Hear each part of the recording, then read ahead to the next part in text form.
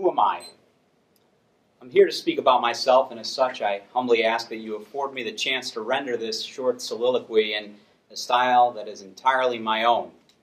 If it isn't your cup of tea, I welcome you to take solace in the fact that you need not suffer through it any longer than the next three to four minutes. Allow me to tell you a little bit about the man that stands before you. I am the lowest common denomination of a millennial generation, the antecedent to a regent pantomime, a total ta- totalitarian paradigm, earnestly urging an emerging proletariat class to mask their tacit last lack of a lasting grasp on an ass backwards economy, wrapped in a taxonomy fashioned from an obtuse ontology, bleeded via Alan's green-speaked false prophecies and the proffered mockery of Ben Bernanke's hanky-panky. I am the lens that cleanses the vision of a society trying to live without division, quietly living in piety, silently willing a mission of peace into fruition, vying to climb whatever ladder it takes to ascend to a place where it's possible to make the slightest trace of a difference on earth. Just like mom always said I would, because I'm special. Trusting I'm honest and spreading good, becoming a vessel for whatever divine conscience I find on my climb until the time I arrive at the place he has defined for me long ago. Or so I've been told every day since I was about two years old. I'm an anonymous celebrity of uncompromising integrity, unconsciously leveling revolutionary ideas into stark relief with mass beliefs sparked by a marked departure from mainstream ideology. The metaphorical pain cream relieving the tension dispensed when fences self-erect between a self-elected semi-fascist ruling class tasked with amassing cash and the disillusioned masses asking for anything that passes for the slightest splash of satisfaction. I've tried to define my very existence by subsisting on a diet of persistent resistance to calcification, by relying on my powers of observation, by, and by vowing to fill every hour of this rat race, not pacing aimlessly, nor chasing gamelessly some unattainable goal, because while painful, I know that I was born into a role. And though my sole raison d'etre claims to stretch the boundaries of possibility, it remains attainable in its scope, or at least I hope. Maybe I can change the world. And so my story unfurls. I was born a bastard. Truly, in every sense of the word by definition. Mm-hmm. My defense as a newborn's innocence is conferred by tradition. And yet I contend that since then I've earned the right to the title and condition mm-hmm. via commission of acts of sedition by casting suspicion on society's patricians, but with full cognition of my position and mission, of my own volition and without contrition. And I was but a lad when I lost my dad at the tender age of eight. I remember the way I waited at the door when he left as maybe the sore throat, tight chest, and torn heartbreak that I was too young to express might only be a test, and if I was patient, perhaps he'd return. Alas, I, had, I still had so much to learn. And those weren't the last of my tears that I'd shed for the father who never bothered to stay much more than two years.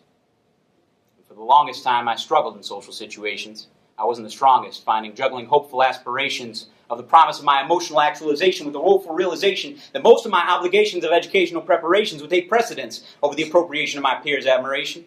The result of this was an inundation of perturbations, irritations, complications, simple conversations led to altercations and confrontations without provocation, explanation, or anticipation.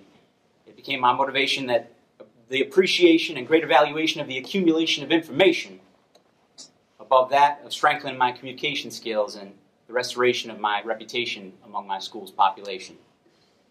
I took solace in the arts in pursuit of flawless marks in class, asking every question, passing every test, and grasping the lessons my teachers imparted, hardly knowing my period of disillusionment had only but started.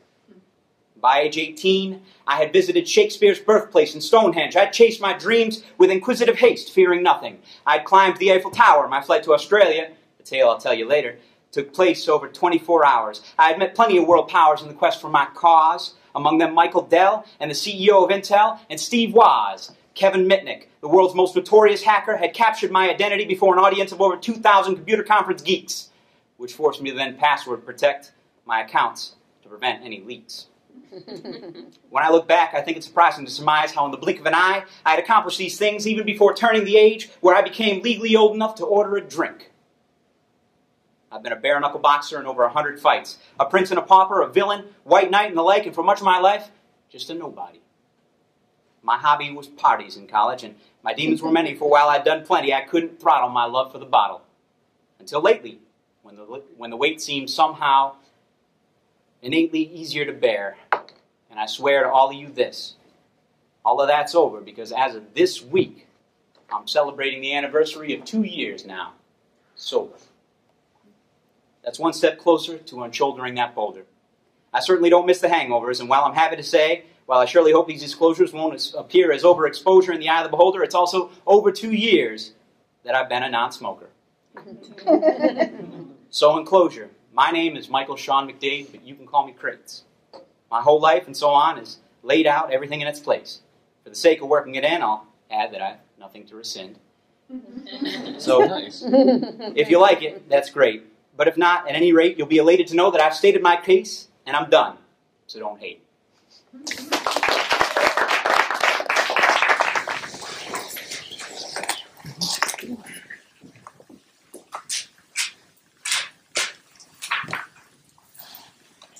Adversity causes some men to break, others to break records.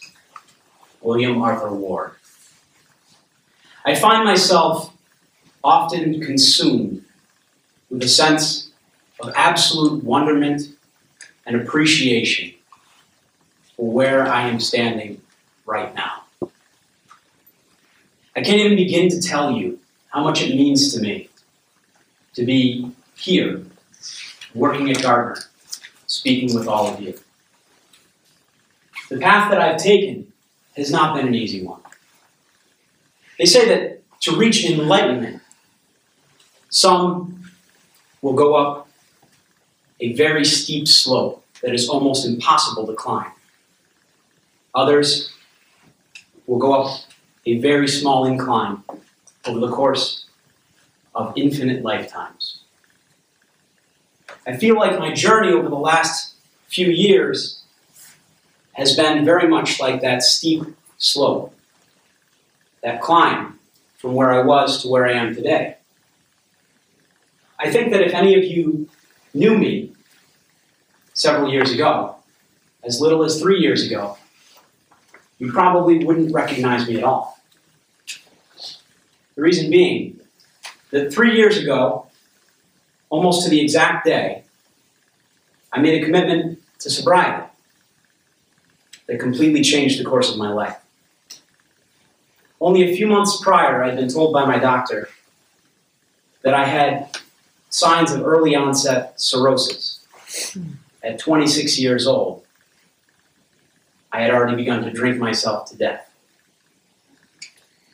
It was clear to me at that time that I needed to make a change, a significant lifestyle change, all pervasive, to translate the failures I had had in the past into success. That was easily the most difficult thing I've ever done. I don't feel it's appropriate to go into all of the details associated with the physical maladies involved in the detox process.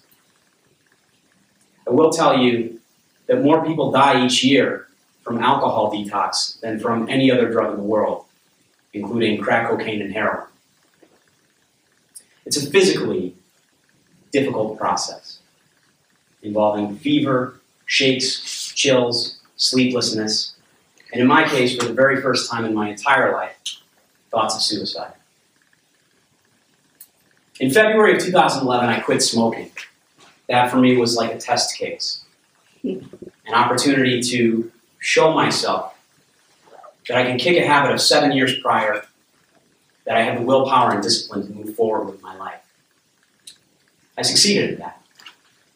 And so, two months later, in April of 2011, I began the process of becoming sober.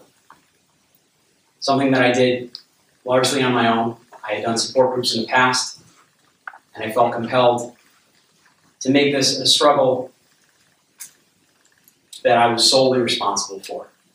My success or failure rode solely on my shoulders. One of the people I take great inspiration from, and one of my best friends in the world right now, is a man with a tremendous success story behind him. Someone that I've seen as a mentor for some time now, who has managed to accomplish things that I hope in my life to someday accomplish. this is a man who has been interviewed on television, talk shows, for the changes and impact he's had in his local community. He has single handedly, personally raised more money than any other organization in the world for charities sponsored by Stop and Shop.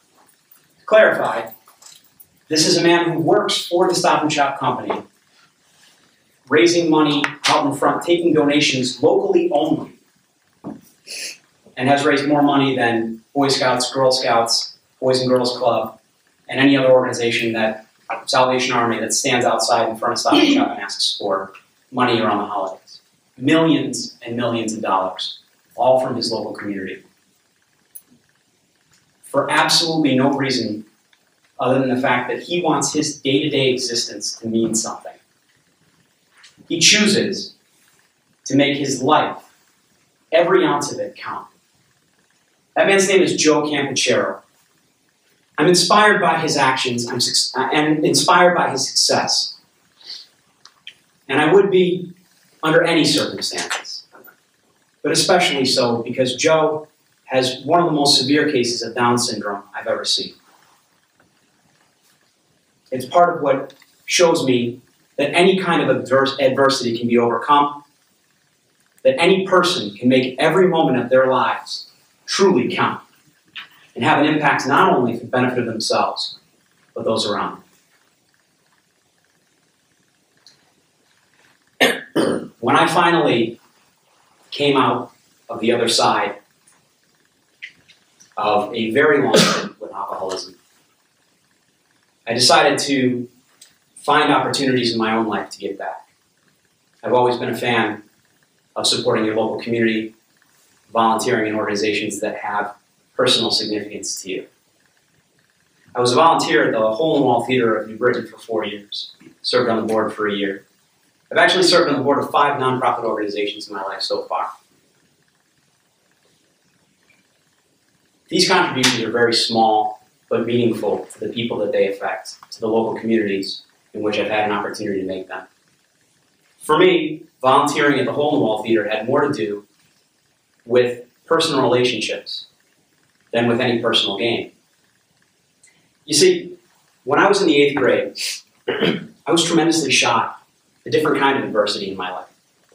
I had very little ability to communicate with anybody. That, in my eyes, prevented me from getting to take advantage of opportunities in my life. But I had absolutely no idea how to overcome it.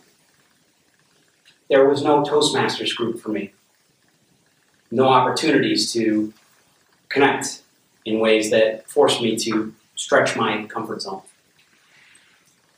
I became very thankful for all of those reasons to my social studies teacher at the time, John Vercione, who had been a co-founding member of that very theater, the Hole in Wall. He saw that in our class we had gotten past the level of required material at that point in our curriculum, months ahead, in fact. And so he offered us an opportunity to take the additional time we had, the lead time we had over the other classes, and do a production of A Christmas Carol by Charles Dickens. Being the most shy student in his class, he chose to cast me in the lead role as Ebenezer Scrooge. that was not easy for me either. As a result of that experience, for the very first time in my life, I found myself coming out of my shell, beginning to engage with my peers, engage with an audience, and feel the respect and commitment required and associated with role that. So, years later, when I happened to attend a production of a detective story at the Hole in the Wall Theater, not knowing that it had anything to do with my former, former social studies teacher, I was amazed to see his name as the co director. And disappointed to find out that while I was attending on closing night and he was a significant member of the production, being, uh, being the co director, that he couldn't attend that night because his cancer was getting to a point where he couldn't get out of the house. I had an opportunity since then, as a result of volunteering with that feeder in an effort to make a renewed connection with my childhood mentor, to say my thank yous and my goodbyes to someone who truly changed my life. And in volunteering in that organization, I felt like I had an opportunity to continue to pay those favors forward to other people who had struggled with being able to connect with others. I greatly miss and remember John Baraccioni fondly to this day. The lesson that he taught me went beyond even being shy or connecting with other people. He taught me to give freely of myself as much as I can, even when I feel stressed, even when I feel overworked, to set aside some of my time to do for others. And for that, I'm immensely grateful. And I encourage everyone here to find that unique opportunity in your own lives. There's nothing else like it in the world. Thank you.